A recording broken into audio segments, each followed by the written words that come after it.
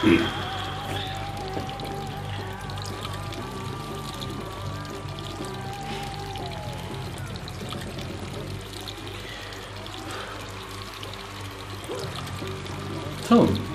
Byron. No ways, bro. How's it going? Oh, all's good. How you been? Not too bad, thanks. I'm a vegan now, so things haven't been better. Oh, really? Yeah. Also vegan. I mean, I'm 100% vegan. Yeah. So am I. Oh, really? Yeah? No, but I'm, I'm vegan 24 7, every day of the year. Hmm. Is there any other way? I haven't eaten meat in years. I remember when I was just a vegetarian. Fully vegan. I refused to drink my mother's breast milk as a child. That's just weird. Fully vegan. Well, prove it. Do you prove it? When was the last time you washed your hair? I don't wash my hair. Test that product on animals. You're quicker than I thought. Hmm. But can you handle the quickfire? What? What do you have instead of beef? Tofu. What do you have instead of chicken? Tofu. What do you have instead of fish? Well, well done. We can all read an article. Dude, I'm the biggest vegan in the city, alright? Everyone knows it. I just had a kid.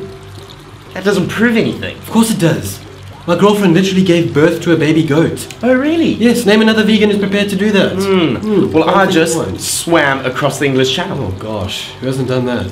Oh, well, when I did it, I was carrying penguins from oil spills safely to land. Penguins in the English Channel. Yes. No.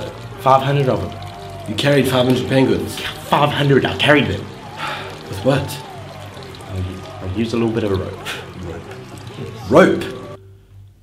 You know damn well that vegans aren't even allowed to look at rope. Ah, guacamole. Ah, wove it out of my hair. Your dirty hair. Yes, my. You sicko, you put your dirty hair in the ocean. You're ignorant. You're ignorant. You're damn ignorant. You know that. I bet your poos don't even stink. What? Yes. Take that back. No. Your hair's carcinogenic.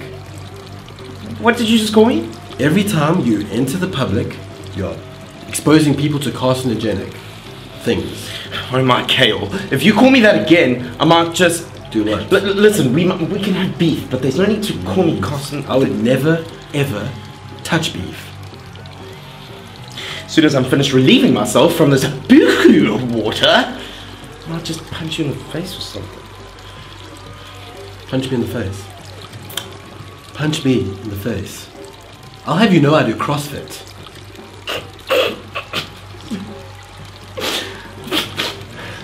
Are you sick? CrossFit. Yes, CrossFit.